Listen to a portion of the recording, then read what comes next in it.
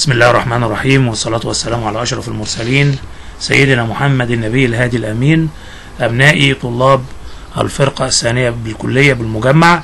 أهلا بكم في محاضرة جديدة في ال research project هنكمل فيها على اللي قلناه في المحاضرة السابقة ونكمل المطلوب في ال assignment الأخير ال assignment 3 ونشوف بنعمل الكتيب إزاي والحاجات المطلوبة. طبعا بنذكركم إن الكلام ده تابع لل outcome الأخير. خدنا ال cover بتاع الكتاب وشفنا الشكل العام بتاعه في المحاضرة اللي فاتت وعرفنا إحنا هنقول في ال outcome الأخير إيه اللي موجود فيه وعشان ناخد الجزء بتاع البي 6 وبي 7 والبي 5 والام 5 والدي 4 آه نفكركم آخر حاجة كنا بنتكلم عليها المرة اللي فاتت هي عملية ال abstract وكملناها واتكلمنا على الأربع أجزاء المطلوب فيها أو الأربع paragraph وقلنا هنكتب فيها إيه بهذا الشكل. وهنكتب إيه في ال abstract واتفقنا إن أنتوا خلال الأسبوع هتكتبوا الكلام ده في شكل عناصر لكل paragraph زي ما قلنا عناصر موضوع كده تعبير. هنكتب فيه إيه المطلوب إيه اللي هنعمله. هنكتب شكل عام لل abstract. لازم ال abstract يتكتب بشكل كويس جدا لأن إحنا بنعتبرها هي الواجهه بتاع الكتاب بتاع المشروع. هي موجودة إيه شكلها إيه هتوصلني لإيه هقدر أعرف منها إيه. يبقى القارئ عارف إيه اللي جوه. فبالنسبة لنا هنكتب ال abstract بهذا الشكل. نيجي بعد كده على chapter تا اللي هو طبعا لو نرجع لل assignment ونشوف ال assignment ال chapter اللي كان بعد كده أول chapter بعد ال abstract هو كان ال introduction يبقى ال chapter واحد رقم واحد اللي هو هيتكتب في ال introduction يبقى أنا هاجي كده بعد كده في القائمه بتاع الفهرس بتاع الكتاب في ال table of contents هحط أول حاجة واحد نقطة introduction ال introduction لو تحته sub titles هيبقى واحد point واحد في ال introduction ونفس الحكاية في ال chapter اللي بعد كده اثنين اللي هو literature review chapter ثلاثة ال project specification طيب. هكتب إيه في ال introduction إيه اللي هعمله في ال introduction قال لي ال introduction بيتكون من خمس أجزاء. يبقى chapter واحد هيبقى واحد introduction يبقى في الفهرس واحد اللي هو ال introduction تحته واحد اللي هي ال background يبقى هتتكتب واحد نقطة واحد أو واحد point واحد. ال objective واحد point اتنين. ال statement of problem واحد point تلاتة. ال methodology اللي هستخدمها 1.4 اللي هي الطريقة اللي هستخدمها في اللي هو أنتوا بتسموها التكنيك اللي هنستخدمه. استخدمنا مثلا تكنيك معين في ال prototype إلى آخر ذلك هكتبه في ال methodology. ثم في 5 1.5 ترتيب الكتاب. هقول والله ال chapter الأولاني يتكون من كذا ال chapter الثاني paragraph ات صغيرة. هنشوفها مع بعض. يبقى أنا دلوقتي عاوز أعمل chapter اسمه ال introduction. واحد يقول لي ما أنا في chapter تاني كان موجود إيه دخله؟ لما كنا من شوية بنقول في ال assignment في ال literature review طب إيه اللي في ال literature review مختلف عن ال introduction قال لي ال introduction ده صفحتين ثلاثة وما بتكلمش فيهم على ال reference أنا بتكلم على حاجات معينة. أمال ال literature review هتكلم على المراجع اللي أنا جايبها. يبقى في ال introduction هيبقى فيه جزء في الأول خالص اللي هو ال background background عن الموضوع. أمال بقى الفرشة الكاملة بقى بتاع اللي نشر في هذا الموضوع؟ لا هيجي في ال chapter 2 اللي هو literature review نرجع بقى تاني لل introduction ال introduction هاخد فيها ال background ال background خلفية عامة عن الموضوع. هكتب إيه فيها. هاجي في عنوان ال background هحط إيه في الكلام ده. هحط في ال background خلفية عن الموضوع. هكتب فيه. يبقى ال background في ال chapter الأولاني جزء من ال chapter الأولاني. يبقى أنا لو عامل فهرس كده foot note تحت بكتب chapter واحد اسمه ال introduction هيبقى فيه الأجزاء دي. أول حاجة اهي شوفوا رقمنا أهو. بقت واحد point واحد. background background على الموضوع. يبقى أنا بفرش فرشة عن الموضوع. يبقى ادي الخمس أجزاء اللي هتبقى في ال chapter أول واحدة فيها ال background ال background بقول فيها إيه في ال background عشان نخلص من ال chapter ده اللي هو ثلاث أربع ورقات بالمرة. هعمل background ولتكن صفحة. أو صفحتين بكتير على ال background أو صفحة ونص. أنا بفضل إن هي صفحة. وال objective يبقى الصفحة اللي بعدها. وهكذا. هكتب إيه في ال background زي ما إحنا شايفين في ال background اللي قدامنا ده كمثال لأحد المشاريع مفيش فيها reference يبقى بكتب الموضوع من غير مراجع. بكتب الموضوع خلفية عامة. يبقى نكمل على المشروع اللي كنا بنتكلم فيه المرة اللي فاتت وقلنا أنا بفترض إن أنا بعمل مشروع على جزء تحكم صناعي في أحد المصانع على المنتجات إن أنا أعمل لها شغل إحصائي أو ما إلى ذلك فأنا مثلا هتكلم على كده. هكتب مشروع على شغلنا إحنا اللي هو بتاع التربينات اللي إحنا خدناها. في هذه الجزئية. هعمل فيها إيه؟ هنشوف الكلام ده. طيب تعالوا ناخد مثال ونشوف هيبقى فيه إيه. ونطبق زي ما إحنا بنقرأ في اللي مكتوب قدامنا ونطبق كمان في نفس الوقت على المنشور في هذه الجزئية. يبقى شفنا دي وشفنا دي. هنا مثلا إحنا كاتبين مثلا بادئ أنا ب paragraph زي ما بقول in today's market بتكلم على السوق المحلي. لأن أنا كنت بتكلم في المشروع اللي اتكلمنا عليه في الأسبوع المحاضرة اللي فاتت على طول. كنا بنتكلم على جزء استخدام حاجة اسمها ال mistake proofing اللي هستخدمها في المصنع. فبقى يهمني بقى الإنتاج بتاعي بتاع المصنع يتسوق. فأنا هنا ال paragraph عليه بيتكتب بيقول in today's markets there is increasing stability for high quality products. في حالة إنتاج منتجات كتيرة عادية يعني منتجات كتيرة بنتج مثلا 100000 قطعة في اليوم إلى آخر ذلك. ال outcomes بتاعي يهم يهمني. يهمني إن أنا أقدر أنافس السوق.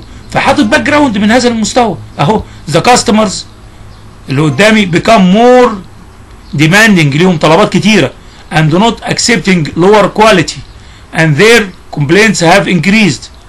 يبقى أنا بدرس بدل بتكلم على منتجات وبيهمني السوق والمنتجات بتاعتي تدخل السوق فبتكلم من خلفية ما هي متطلبات السوق. فبقول in today's markets في هذه الأيام عملية. السوق نفسه بتاعي there is increasing instability for high quality products. غير ثابت في حالة المنتجات اللي هي الكبيره قوي. الكاستمرز اللي هم المستهلكين become more demanding ليهم طلبات كتيرة and not accepting lower quality. ما يبقوش يقبلوا أي حاجة lower quality عاوزين يقبلوا الحاجة اللي هي مستوى عالي. And their complaints have increased وبيشتكوا كتير جدا لو في المست... لو المنتج فيه أي حاجة. طب ما ده معنى كلامي إيه؟ بقول نركز. كأن أنا بدي القارئ خلفية إن الموضوع أهمية الموضوع.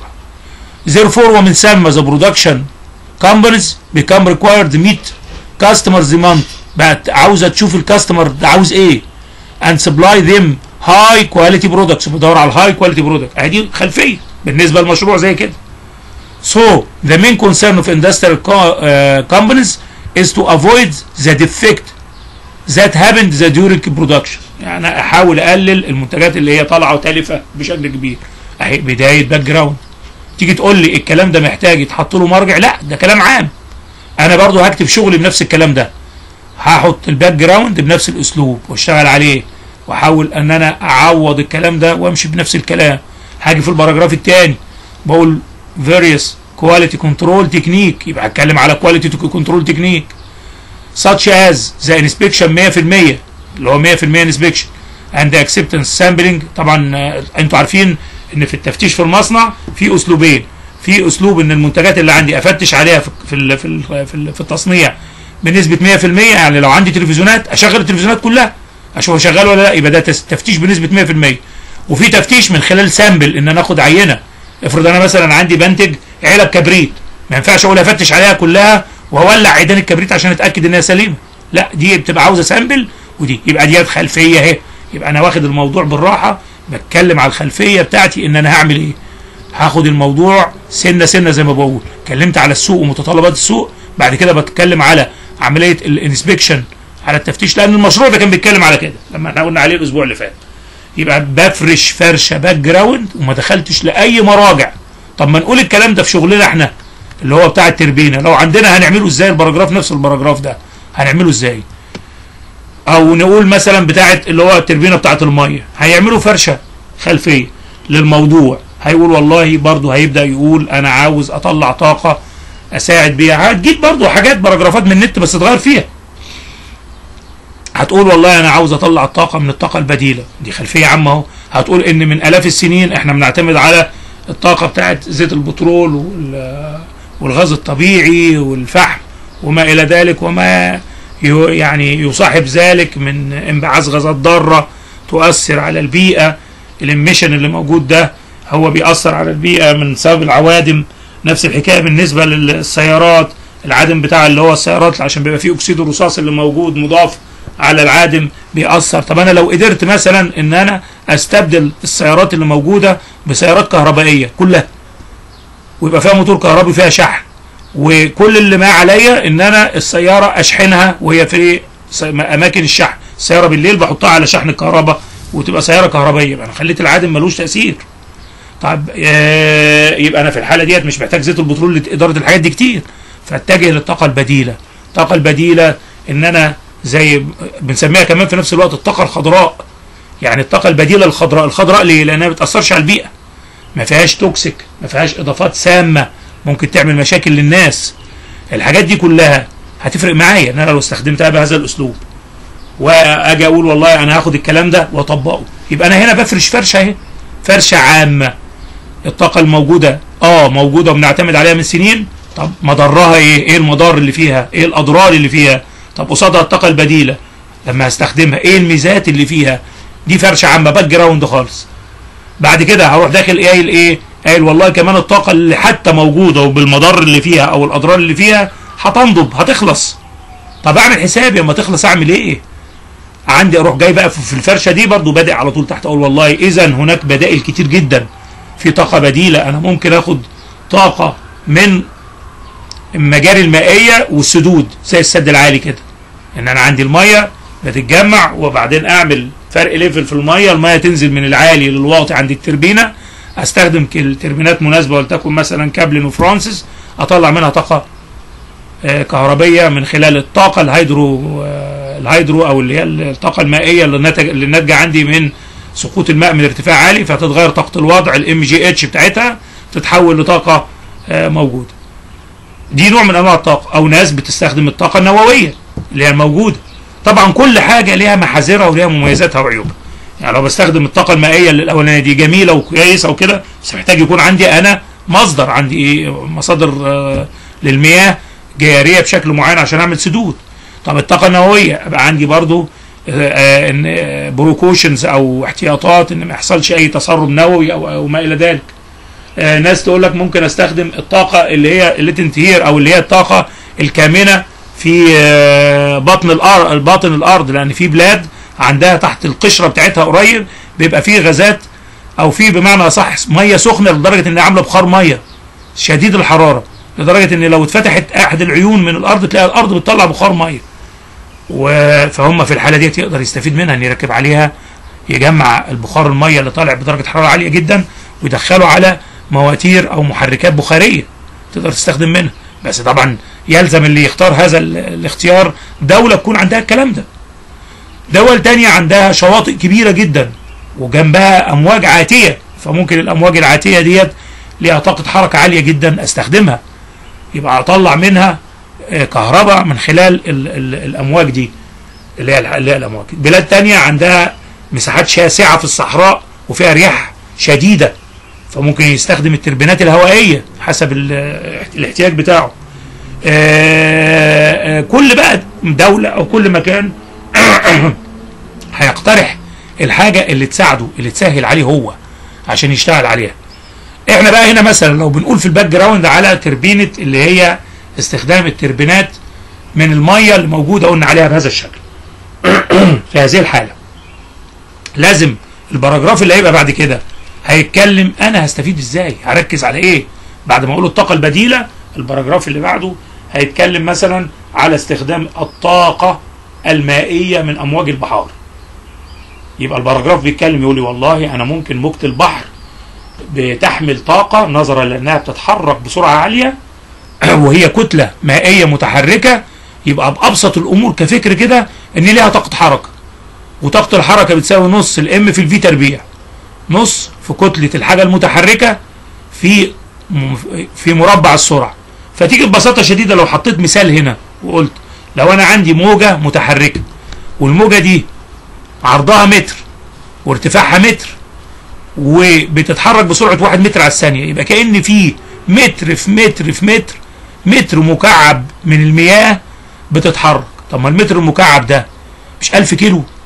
طب أنا لو جيت قلت نص في الإم اللي هي الكتلة دي المتحركة في مربع سرعة بس حركة الموجة اللي هو متر واحد على الثانية. ما أنا هحول الكلام ده لطاقة على إيه؟ بيطلع لي حوالي تقريبا قريب من 1000 نيوتن. نيوتن حركة نيوتن متحرك نيوتن متر. ك ك ك مثلا كتورك متحرك أو إن هي بتديني طاقة حركة بال بال بال أشوف اليونت دي ألاقيها كبيرة جدا. طب يبقى أنا لو عندي كمية أمواج كبيرة عندي طب ما أنا مش أقدر الأمواج دي كمان. لو هي جنب الشاطئ أروح عامل مصدات ليها في حجارة وأخنقها كده أخنق الموجة كده إن أنا أدخلها زي إيه؟ زي بين حجارة على شكل قمع.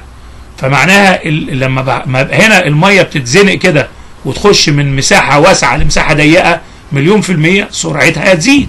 لأن أنا عندي علاقة هتبقى بين إن ال area 1 في ال V 1 هتساوي ال area 2 في ال V 2 يبقى ال area اللي هي في بداية المدخل الحجري بتاع المية بحجر أكتب الكلام ده في ال background بدل ما أنا بكتب مشروع. إن هي المدخل مثلا كانت ال area المدخل 10 متر مربع. في نهاية الجزء ال cone أو الجزء المخروط ده في الآخر 1 متر مربع. يبقى معناها السرعة الاخرى هتزيد إيه؟ 10 أضعاف. لأن الأريا في الفي 1 أريا 1 في في 1 هتساوي أريا 2 في في 2 يبقى معناها في 2 السرعة في نهاية الحركة هتساوي في 1 مضروبة في a 1 على a 2 لو معكوس اللي هو المساحة يبقى هنا السرعة هتبقى 10 أضعاف. يبقى الكتلة اللي هي بتاعت المية اللي داخلة شايلة طاقة كبيرة جدا عشان أنا بضربها في مربع السرعة. إحنا قلنا طاقة الحركة هتبقى الكتلة في مربع السرعة. لما أوصل أنا لسرعة للأمواج المتحركة 10 متر على الثانية يبقى المربع بتاعها 100 متر على الثانية. هنا أنا بعظم أو بكبر الطاقة الحركية اللي باخدها. يبقى لازم في بداية المشروع ما دام بحط مشروع أو project لازم أحط الكلام ده في ال background في أول paragraph لل background. تمام؟ يبقى إحنا اتفقنا بقى إحنا أهوت ماشي بحط مثال وقلت مثال على أحد المشاريع بتاعكم عشان تكتب الكتاب بتاعك بتاع المشروع ويمكن ربنا يكرمكم كده قريب تبقى بتعملوا ماجستير ولا حاجة يبقى اتعلمنا بعمل الكتيب بتاع المشروع إزاي؟ التسلسل بتاع عرض الفكرة يبقى إزاي؟ تمام يا شباب؟ يبقى أول جزء في ال background هيبقى الجزئية دي. إيه هي؟ التركيز على هذا الجزء إن أنا بقول إيه إمكانياتي وهستفيد منها إيه في الجزء ده. وبعدين غطينا الحتة دي. إن إحنا قلنا خلاص أنا دخلت في الطاقة البديلة واخترت إن أنا أعمل مشروع من طاقة المياه بهذا الشكل. حطيتها دي. إيه اللي إيه بدماغه كده؟ إيه الفكرة اللي يجي في ال background يكمل الكلام ده؟ إن أنا أعمل focusing أنا هستخدم إيه؟ أنا هحط إيه عندنا؟ يبقى هروح متجه على طول. نوعية إن أنا أحط جزئية في المشروع بتاعي إن أنا أركز يا جماعة أنا هستخدم تربينات المية. طيب ما تربينات المية اللي هحطها عشان على حرف بحر مثلا عشان أستخدم الموجة هل هي دي الوحيدة؟ لا. طب ما في إمكانيات كتير. يبقى لا الباراجراف اللي كان المفروض قبلها إيه؟ إيه هي؟ أنواع استخدام طاقة المياه اللي ناتجة من حوالين شواطئ البحار أو لو هو جوه شوية جوه الشواطئ في المياه الضحلة أو لو حتى في المياه العميقة. أقوم اتكلم على الأنواع بقى. كل نوع منهم اكتبه سطر سطر سطر سطر جنب بعضه. أقول والله أنا ممكن أستخدم الكلام ده إن أنا آخد مباشرة مباشرة طاقة المياه الحركية. واحد يقول لي إزاي؟ أقول له والله أنا ممكن أجي في البحر وأحط عوامة. العوامة دي تبقى ملاصقة لسطح المية طب ما الموجة لما بتيجي هترفع العوامة الأعلى وبعد شوية تنزل لتحت. طب ما أنا أخلي العوامة دي متصلة بعمود. العمود ده هيطلع لفوق لأعلى وينزل. لو وصلت العمود ده عملت عليه جريدة مسننة اللي هو بالطول ده عملت فيه إسنان وعملته عامل meshing أو معشق مع ترس آخر مدور ما الترس ده أثناء ما الموجة بتطلع لفوق العمود ده بيدور الترس وأثناء ما بينزل تحت هيدور الترس. لو الترس ده خدت منه حركة mechanical مباشرة وصلتها الدينامو فيبقى أنا هنا باخد الحركة المباشرة. دي نوع معين موجود وفعلا بيسموه في البحر اللي هو ال direct action بهذا الشكل. في ناس تانية بتعمل حاجة تانية قريب من الشواطئ. يعمل بوابة gate وال gate ده يبقى على frame أو على شاسيه متعلق من فوق. طب ما ال gate ده لما أنا أعلق المفصلة بتاعته من فوق هيبقى ليه حركة swinging يتحرك كده زي البندول. فبيسموه pendulum gate. فالمية اللي جاية من البحر تزق ال gate البوابة دي تقوم تاخدها تتحرك زي البندول في اتجاه مثلا اتجاه عكس عقارب الساعة. طب ما بعد شوية المية هترجع تاني بعد الموجة ترجع للبحر. تقوم محركاها في اتجاه عقارب الساعة. البندول ده هيتحرك ترددي رايح جاي رايح جاي بهذا الشكل. طب ما أنا لو وصلت من فوق من على ال pins اللي فوق أو المفصلة اللي فوق وصلت برضو ترس وصمو وترس ومعشق مع gear بشكل معين gear box طب ما أنا هاخد الحركة دي وأخد منها torque و omega. وال torque أنتوا عارفين لما يضرب في الاوميجا يدي power يبقى هاخد طاقة. الطاقة دي بقى سواء طاقة ميكانيكية مباشرة أو طاقة آه كهربية عن طريق دينامو يتحط أدي طريقه طب ما هو يبقى أنا اتكلمت هنا على إيه؟ على ال direct action طب ما أنا ممكن أتكلم مش على ال direct action على ال indirect action اللي هو إيه؟ اللي هي الفكرة بقى إن أنا الموجة اللي موجودة دي ممكن أدخلها غرفة والغرفة تبقى المية دي حابسه فوقها pocket هواء جيب هوائي. والجيب الهواء ده لما الموجة ترتفع في الأوضة هتزق الجيب الهواء ده لأعلى. طب وبعد شوية لما المية ترجع تروح البحر هتمص جيب الهواء ده لأسفل. طب ما يبقى في الحالة دي أنا لو حطيت في سقف الغرفة دي حطيت زي تربينة هوائية طب ما الهواء هيعدي عليها من أسفل لأعلى وبعد شوية يعدي عليها تاني من أعلى لأسفل. طب أنا لو وصلت التربينة ديت المراوح دي حطيتها بمراوح اسمها Wells turbine اللي هي على شكل جناح الطيارة أو بنسميها ال airfoil اللي موجود. ما أنا هضمن إن التربينة دي تدور في اتجاه واحد طوال الوقت. طب ما في هذه الحالة أنا قدرت أستفيد من أنا هنا بقى يبقى بكتب إيه؟ background على الموضوع فرشة للموضوع. لغاية ال paragraph الأخير بتاعي اللي هو يبقى بنهاية ال background هيبقى في الجزء ده في الآخر كده قبل ما أبدأ في ال objective هتكلم بقى عن اخترت إيه؟ أنا في مشروعي اخترت إيه؟ ريسيت أشتغل إيه؟ يبقى كاني بوصف المشروع بتاعي هعمل له تصميم عبارة عن إن أنا هاجي في الورش بتاعتي أو في العملي وأعمل صندوق معدني. الصندوق المعدني ده صاج هيتقفل بالشكل الفلاني اللي أنتوا عملتوه وهعمل فيه من الجنب فتحة إن أنا أقدر أدخل مية إضافية فيه من الجنب عن طريق مثلا وصلة آه tubes rubber مرنه موصلة في براميل مية وأنا هيبقى في رفعه في الجنب. الرفعه دي لما أحرك البرميل أدلقه لتحت. هيدخل المية في الايه؟ في ال tank الصاج ده هيرتفع آه، مستوى المية داخل ال tank الصاج ده يبقى أنا كأني برفع موجة كأني بعمل محاكاة لموجة البحر. وبعد ما بعكس الناحية الثانية وأسحب المية تاني إلى البراميل مرة أخرى ال- ال- ال tank الصاج مستوى المية هيقل لأسفل يبقى كان أنا بعمل حركة عكسية ليها بعمل simulation للجزئية ديت بعمل simulation وما دام عملت ال simulation للحركة بتاعة الموجة باخد منها ال- الجزئية ديت الحركية. واحط بقى التربينات بتاعتي اوصفها أنا اعملها إزاي؟ هحط مروحة احطهم اتنين بالطريقة بتاعتنا اوصفها في بداية المشروع. لما أوصف في بداية المشروع بهذا الشكل ال- ال- الشغل بتاعي هقدر أكمل عليه. بعد كده في الجزء بتاع ال objective إيه اللي المفروض أقوله في ال objective اللي هي واحد اتنين. ما بتبقاش غير paragraph زي ما أنتم شايفين صغير. إيه ال objective لو أنا جبت أي واحد من بتاع المشروع بتاعكم جبت مثلا حد من المنسقين جبت مثلا آه يوسف في مجموعة اللي هو بتاع الميه جبت منار جبت شمس جبت أي طالبة منه. وأقول لها قولي لي يا بنتي أو قول لي يا يوسف المشروع بتاعكم أنت عاوز تعمل منه إيه؟ في جملتين يقوم يقول لي إيه؟ يقول لي والله ال main objective بتاعتي الغرض الرئيسي إن أنا أعمل تركيبة معينة لما يتحرك المية اللي جواها الدينامو يشتغل يطلع كهرباء. يبقى معناها قال لي أنا عاوز إيه بالظبط؟ يقول لي the main objective of this project to generate electricity اللي هي الكهرباء through using a suitable generator can be mounted كان ممكن يتركب أو يتثبت على مثلا غرفة معينة أو تركيبة معينة بتحبس الهواء اللي فوق المية اللي جاي من الأمواج بحيث تضمن إن هو يعدي من تربينة التربينة ديت هتلف في اتجاه معين اركب الدينامو يدي لي حركة يبقى paragraph. ال paragraph زي ما إحنا قلنا إيه ما يزيدش عن سطرين ثلاثة أقصى حاجة. يبقى ده ال objective يعني ال objective إيه؟ زي ما تيجي تقول للواحد قول لي كلم الموضوع الفلاني يجي يتكلم أقول لك لا اديني زي ما ساعات أنتوا تضحكوا كده وتقولوا اديني الزبدة بتاع الموضوع. زي بعض الدول العربية بتقول. أو ناس تقول لك اديني الزيتونة بتاع الموضوع. يعني معناها قول لي الموضوع في سطرين. يجي بعد كده ال paragraph اللي بعد كده ال statement problem وصف المشكلة. أجي أقول أنا عندي مشكلة هندسية إن أنا محتاج أطلع طاقة كهربائية.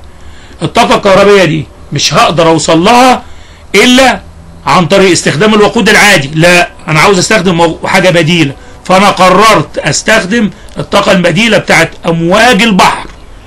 شوفوا هنا مثلا في المشروع ده كاتب بيقول in this project the cutting process is considered is to uh, represents in the critical process in production customers for automotive exhaust tube. مثلا بيتكلم على حاجة. فحدد المشكلة بالظبط طالما حددت المشكلة يبقى لازم النهاية في آخر ال paragraph تحدد حل المشكلة.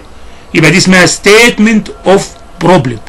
أنا هحل المشكلة إزاي؟ ك statement of problem وبعد كده هقول ال methodology هحلها إزاي. يبقى أنا هنا في ال statement problem لازم أوصف الشغل بتاعي. هقول أعمل إيه؟ مثلا المجموعة بتاعت الكلاتش. أيمن هيجي يقول لك والله ان this project أنا بحاول أعمل كلاتش أستغني عنه عن الكلاتشات الطبيعيه يعني اللي هي فيها مشكلة التآكل بتاع ال disc والأسطوانة اللي بيحصل ده. يبقى هو حدد المشكلة. بيقول أنا عندي المشاكل اللي موجود أخسره بيحصل تآكل من ال friction في ال disc والأسطوانة. أنا هستبدل بفكرة جديدة. أنا هستبدل بطريقة تانية. أنا هعمل كذا يقلل ال friction. يبقى بيقول ال statement problem وبيقول في آخرها الحل. وهنستكمل مع بعض إن شاء الله في المحاضرات القادمة نكمل إزاي؟ بس تكونوا بداتوا لي في الكلام ده وعملتوه. آه، أستودعكم الله وأدعو لكم جميعا بالصحة والعافية وإن شاء الله ربنا يحفظكم ويحفظ مصر الغالية. السلام عليكم ورحمة الله وبركاته.